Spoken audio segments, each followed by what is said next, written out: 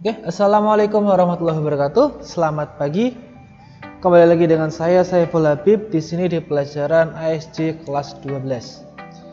Pada pertemuan kali ini kita akan mencoba untuk praktikum menginstal VPN server pada Debian 9. Mohon maaf ya di sini tertulis Debian 10, tapi yang saya maksud di sini adalah Debian 9 yang dipakai oleh kelas 12. Untuk alat tambahan kita butuh laptop komputer, VirtualBox, bus Debian, server, dan juga koneksi internet. Lebih baik ada koneksi internet. Tetapi kalau kalaupun tidak ada, mungkin bisa menggunakan metode pakai DVD yang seperti, sama seperti yang kalian kerjakan uh, di kelas 11. Oke, untuk persiapan OS-nya di sini kita akan menggunakan dua buah adapter adapter satu kita bu kita buat sebagai bridge adapter kemudian adapter 2 adalah host only network adapter. Jadi di sini kita akan mencoba untuk membuat sebuah server server VPN lokal saja ya. Ya dari server VPN itu kita akan mencoba untuk connect ke situ. Nanti sebenarnya server VPN itu bisa kita gunakan untuk uh, kita lanjutkan settingnya sehingga bisa connect internet tetapi itu agak susah. Jadi saya sederhanakan saja tidak bisa connect internet. Tapi, pada intinya settingannya seperti itu. PPTP yang seperti yang saya jelaskan kemarin uh, adalah jenis VPN yang paling lama dan paling tidak aman tapi ini adalah jenis VPN yang paling mudah untuk settingnya. Oke tanpa panjang lebar bisa kalian baca sendiri di job sheetnya sekarang kita akan masuk ke Debian nya kita akan praktek ke Debian. Di sini ada beberapa langkah penting. Ada dua langkah. Yang pertama setting PPTP servernya. Dan yang kedua adalah set koneksi PPTP ke Windows dari Windows ke Linux. Seperti ini. Oke kita mulai. Sudah login atau belum start job. Ya. Sudah login ya.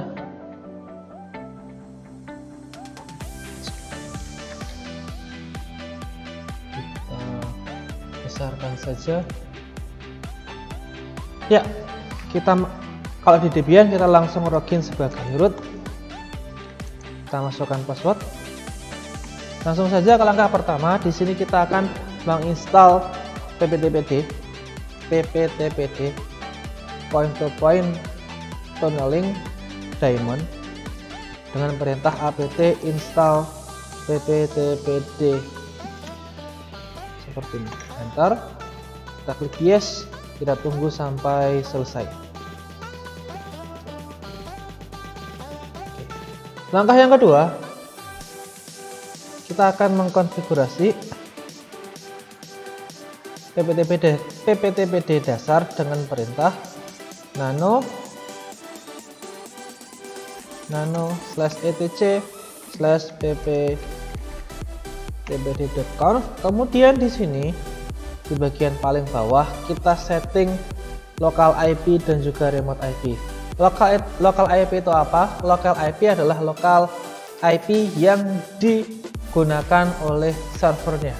Sedangkan remote IP itu adalah IP yang digunakan oleh kliennya lokal IP untuk lokal IP kita manut uh, kita mengikuti yang ada di jobsit di sini lokal IP nya adalah 192.168.562 di sini 192.168.562 kemudian remote IP remote IP untuk di VirtualBox kita akan menggunakan kita kan di sini menggunakan uh, network uh, host only ya. Di host only bisa kita buka di sini di bagian paling atas. Di sini ada tombol menu. Kita pilih yang network. Di sini ada IP-nya kita setting IP-nya adalah di sini kita setting IP-nya adalah 192.168.56.1 jadi remote IP nya adalah seperti itu. 192.168.56.1 kita kontrol O kontrol X. Seperti ini sudah jadi. Kemudian di tahap yang kedua kita akan mengkonfigurasi lanjutan uh, eh, pptpd nya dengan perintah nano etc ppp pptpd slash uh, maaf pptpd strip options. Kita coba nano etc ppp mohon maaf ppp kemudian pptpd options di sini kita cari kita cari uh, apa namanya domain. Kita cari domain kita cari sebuah konfigurasi msdns kemudian kita ubah seperti di sini cara mencarinya kita kita bisa menggunakan Ctrl W seperti ini. Kemudian kita tulis ms dns seperti ini akan muncul. Di sini tanda pagarnya kita hilangkan kemudian IP-nya kita ganti sesuai di job sheet. 88 88 sama 8844 oke seperti ini. Langkah kedua selesai kemudian langkah ketiga di sini kita menggunakan kita membuat username. Di sini username-nya ada di nano etc ppp cap secret cap secret. Nano etc ppp slash cap secrets seperti ini. Nah cara menuliskannya itu username tab bintang tab password tab bintang misal seperti ini kita username-nya adalah linux. Bukan spasi ya tapi tab bintang tab passwordnya apa? Misalnya QWERTY atau bismillah seperti ini. Kemudian tab bintang. Jadi Linux di sini apa namanya kliennya namanya Linux servernya itu terserah bintang itu terserah bisa apa aja. Secret itu password passwordnya adalah adalah bismillah. Kemudian bintang yang terakhir itu adalah IP addressnya. Karena kita ingin yang sederhana maka kita buat seperti ini saja. Ctrl O Ctrl X seperti ini. Kemudian setelah semua selesai kita restart pptpd kita. Dengan perintah sistem ctl restart restart pptpd service seperti ini. Jangan lupa supaya tidak bisa supaya bisa langsung hidup setelah kita restart Linuxnya. Kita sistem ctl enable pptpd service seperti ini. Oke sudah? Sekarang kita lanjut ke langkah selanjutnya yaitu adalah kita koneksi pptpd kita ke apa namanya ke Windows host Windowsnya. Nah di sini kita cari setting settings up-nya di sini. Kemudian kita pilih network and internet. Kemudian di sini ada tombol VPN nah kita tambah VPN connectionnya kemudian VPN providernya kita pilih built-in connection name connection name ah, maaf connection name nya kalian buat sesuai dengan job sheet atau mungkin terserah asal ada nama kalian. Misalnya VPN Saif. Full. Habib seperti ini. Kemudian server name-nya adalah IP yang kalian IP dari server kalian IP dari server kalian kalian setting 192.168.56.2 VPN type-nya di sini kita menggunakan PPTP point to point tunneling protocol type of sign in username dan password. Tadi password uh, username-nya yang sudah dibuat tadi adalah Linux kemudian his passwordnya adalah Bismillah seperti ini.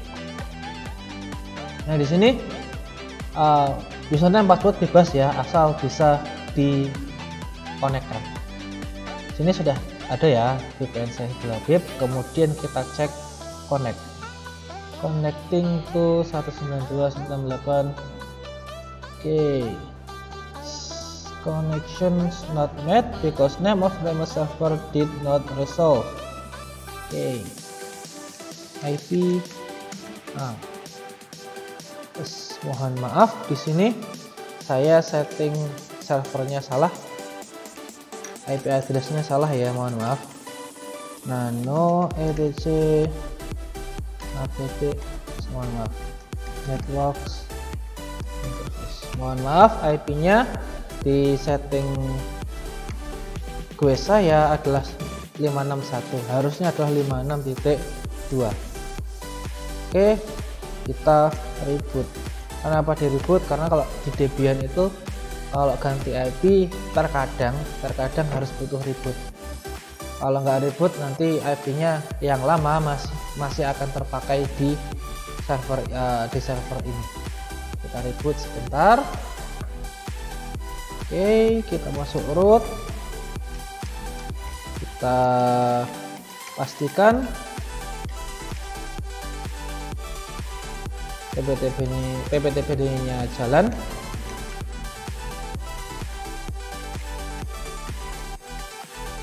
PPTPD oke. Status. Seperti ini running. Kemudian di sini kita coba connect lagi. Connecting not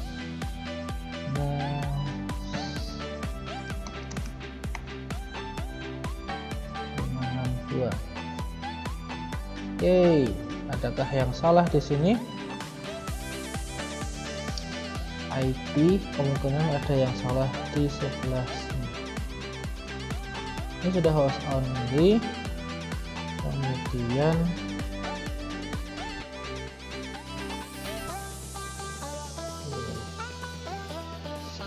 Oh, mohon maaf, di sini saya ada kesalahan.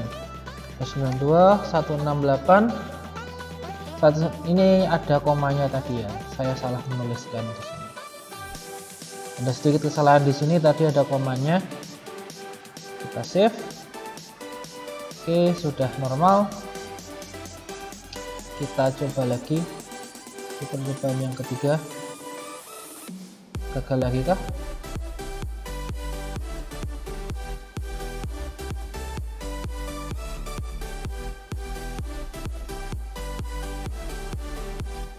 completing the connection. Oke okay, kalau seperti ini insya Allah sudah connected. Nah silahkan di sini VPN saya lebih seperti di screenshot kemudian di upload kemudian uh, di sini di statusnya ini BTBD nya juga di screenshot kemudian di upload oke itu saja untuk perhatikan PPTB nya uh, praktikum VPN servernya mudah ya insya Allah ya. Silahkan dikerjakan sesuai dengan job sheet kalau ada error bisa apa namanya lihat di video ini ada beberapa error. Saya, saya mengalami beberapa error tadi. Yang pertama adalah karena IP dan yang kedua adalah karena settingan di VPN saya. Jadi mungkin kalau menemui, menemui error seperti itu bisa melihat di video ini. Baik itu saja